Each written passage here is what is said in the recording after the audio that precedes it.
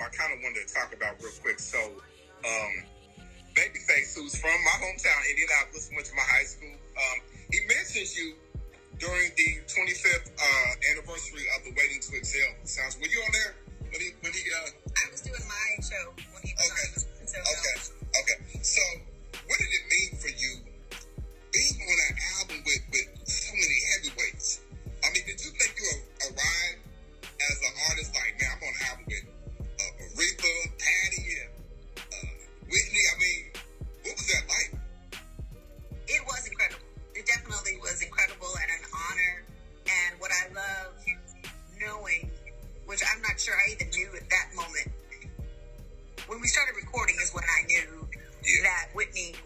charge of deciding who was and was Yeah. not going to be a part of it.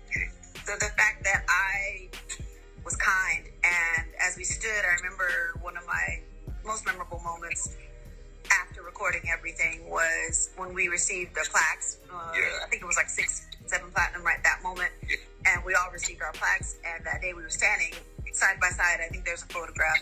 Well, I have a photograph. I'm not sure if the world the world has it, but I'm pretty sure they do. But anyway, we stood next to each other. She was, I think, on my left. I think Brandy was on my right. Yeah. But she and CeCe Winans were next to each other. Yeah. And between photographs, she was like, "Your little singing self," and I was like, "Me, me." Yeah. And her and CeCe were like, girl, that tone. Did you hear that tone? That tone is wow. beautiful, girl. And I was just like, yeah.